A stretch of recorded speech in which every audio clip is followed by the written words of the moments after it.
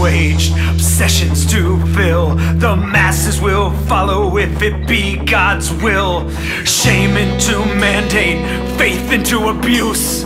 Crucify, terrorize, indoctrinate the youth by submission or treason. There's no other way.